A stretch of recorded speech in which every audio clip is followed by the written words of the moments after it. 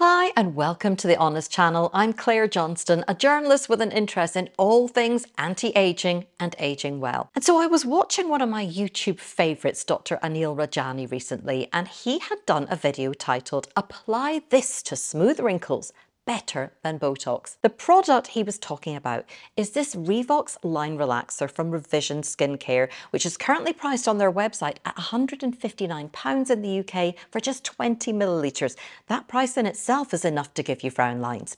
And it's listed on Dr. Rajani's own site for $145, though it was on offer at $117 at the time of filming. He describes it as Botox without the Botox, and it's designed to slow down muscle movement and ease frown lines and wrinkles. And I could not help myself, so I ordered out of pure curiosity and the desire to test this thing out. I've been using it twice daily on my frown lines for six weeks now. So is this Revox line relaxer really better than Botox? Or even somewhere close to it? So the idea with the Revox Line Relaxer Serum is that you use it twice daily, targeting lines on your forehead, around your eyes and your mouth if you have them there, applying it to clean skin and before moisturizing. And right up there at the top of the active ingredients list is acetyl hexapeptide 8, which many of you may have heard of by its trade name, argireline. And it's a neurotransmitter inhibiting peptide that's also water binding. So it's a humectant. And that in itself can help with lines because it's attracting moisture to the surface of your skin. But as I understand it from reading scientists' take on this ingredient, this peptide mimics a particular protein in what's called the SNARE complex, which plays an important role in the release of neurotransmitters.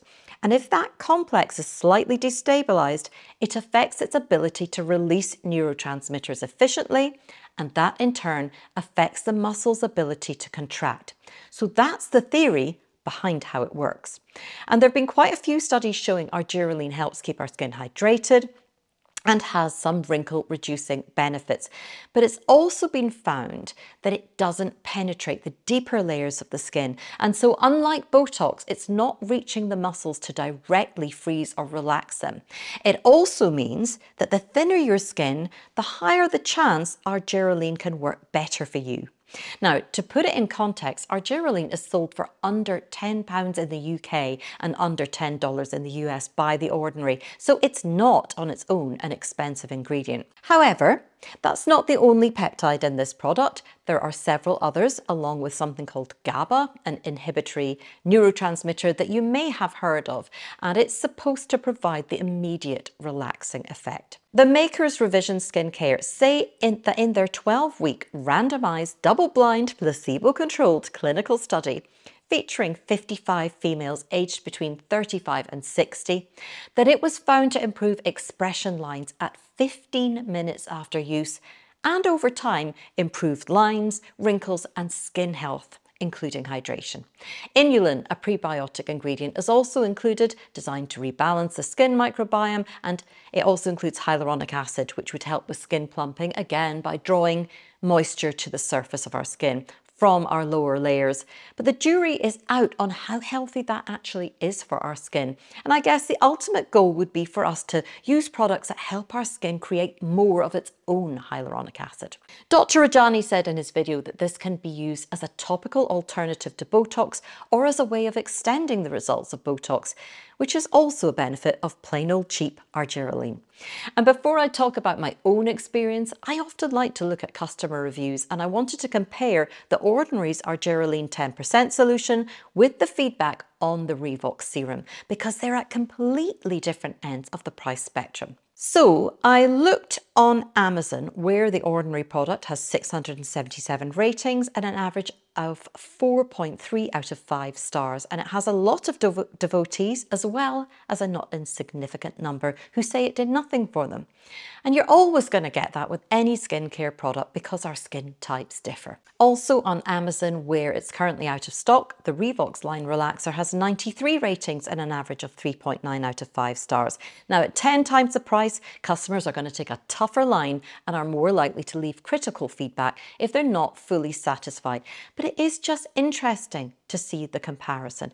how much more are you actually getting from the more expensive product, which does have considerably more ingredients. From my perspective, using it twice daily for around six weeks, so that was straight after I filmed my Adipo review, I started using this on my 11s, my vertical frown lines, and a couple of deeper horizontal lines. And it comes with a steel tip attached to a little pump, so you can just smooth it over the lines you want to target. To use it over a longer period of time, I would have had to buy another tube, and I have decided not to do that, based mainly um, on cost versus return. Now, I usually get Botox very lightly done once a year, and to avoid eyelid sagging, because the relaxed muscle can push the brow down, I just get tiny amounts put between the brow and a little higher up as well. So I still have movement, but just less of it. The last time I had it done was at the start of January 2022, and I wanted to give this a go before I had it done again to see if it might actually be an effective alternative. I've got to say, when it comes to my results, I don't notice a major difference personally. So let's take a look firstly at the difference 15 minutes after use. Here's the before and after footage alongside each other, and there's not, as far as I can see, a particularly noticeable relaxation. For the longer term results, this is me at the beginning of December, and this is me now. There's potentially a slight easing because these are deeper lines, and that is going to be tougher for any topical to make an impact on. Realistically, if I'm look, looking to smooth out these deeper lines, I think I'm going to have to use Botox. Now, I've not experienced major irritation with the serum, but I found it does make my forehead a little bit itchy at times, though that decreased with regular use. Overall though, do I believe that this product and argireline in isolation, that they can relax lines and smooth the appearance of the skin? Well, yes, I do to a point. I'm very interested in peptides and growth factors in skincare, and I very much think they are the way forward. And I'm going to be bringing you thoughts on a number of products this year. At the moment, I'm using Calecim's multi action cream every morning, and my 80 year old mum is using OneSkin's uh, face supplements. So I'll update on our results and look at some of the most popular alternatives at different price points. A reminder that growth factors are proteins produced by the body's cells, including those found in the skin, and are used in skincare for their ability to message to skin cells to repair themselves, and as a result, improve the skin's health and decrease the appearance of fine lines and wrinkles. Peptides are molecules made of two or more amino acids that also act as messengers within the skin.